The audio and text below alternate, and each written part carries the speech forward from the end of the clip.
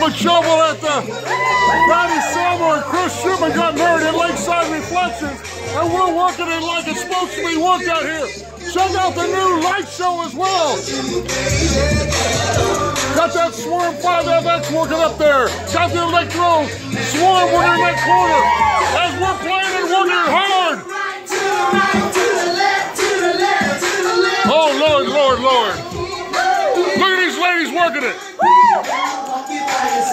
I'm talking about. My bridesmaids on this end. Even the littlest ones are playing it.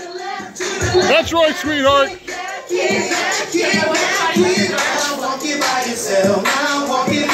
There's my bride.